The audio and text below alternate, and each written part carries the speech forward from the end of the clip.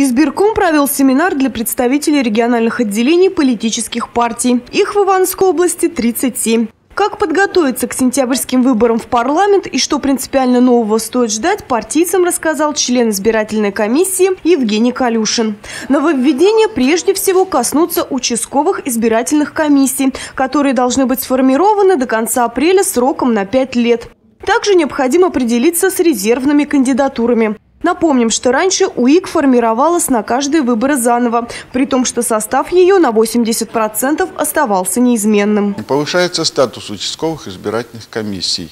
Член участковой избирательной комиссии э, теперь будет иметь срок полномочий 5 лет, и он имеет особую защищенность как э, особый субъект права в случае привлечения его к э, ответственности.